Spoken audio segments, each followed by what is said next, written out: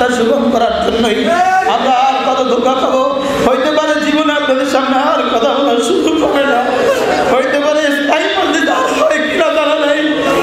স্থায়ী আর হয় কিনা জানা নেই। হইতে পারে আপনাদের সামনে কথা আজকে জীবনের শেষ কথা হইতে পারে।